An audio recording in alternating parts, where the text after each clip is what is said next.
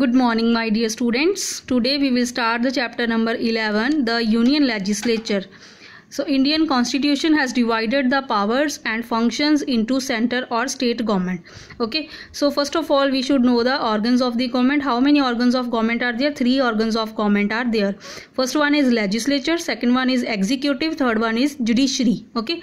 So, these are the three main organs of the government. And what are the function of these uh, organs? First, legislature it is making laws for all the country making new policies making rules making laws for the whole country including all the states and UTs. Executive it is implementing all the laws made by legislature judiciary.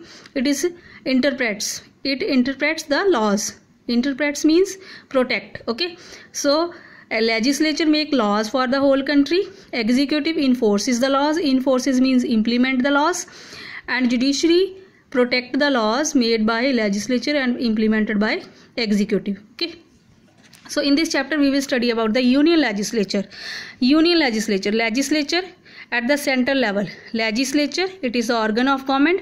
Legislature at central level is known as union legislature okay at central level legislature is known as union legislature and it is also called parliament okay?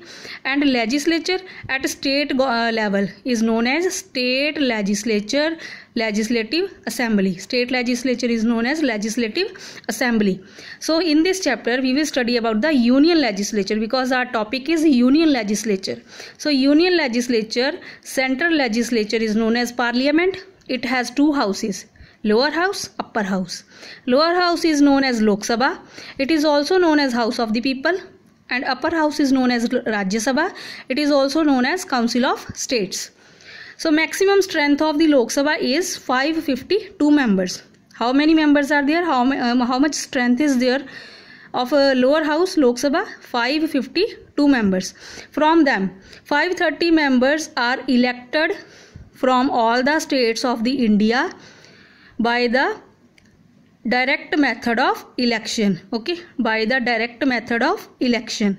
So 20 members are elected from all the UTs of India. All the UTs means union territories of from India.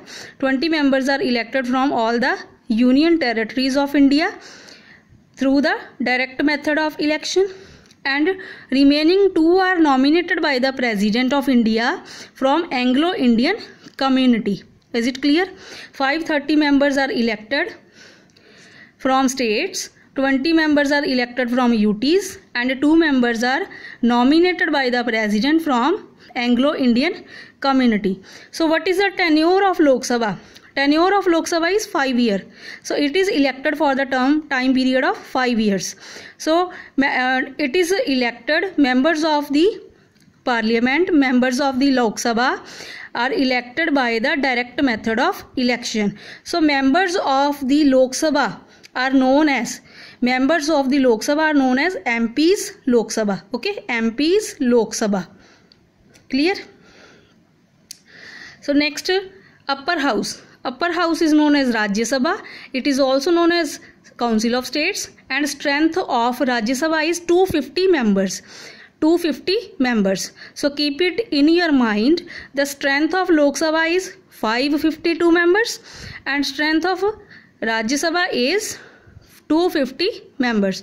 From all 250, 238 members are elected from the state assemblies. State assemblies means state legislative assemblies from all the uh, elected MLAs. Okay uh, we will study further about this okay so 238 members are elected from the state councils state legislative assemblies and 12 members are nominated by the indian president which are uh, 12 members are those which are famous personalities in the field of art literature sports and act acting etc. Okay? So 238 members are elected from the state legislative assemblies and 12 are nominated by the indian president.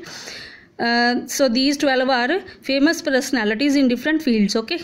So in this uh, the members of tenure of uh, upper house tenure of uh, rajya sabha is 6 years okay? 6 years. So it is the main difference between both. Tenure of term time period of lok sabha is 5 years and rajya sabha is tenure of rajya sabha is 6 years okay? So members of rajya sabha are known as mps mps rajya sabha okay? Mps rajya sabha.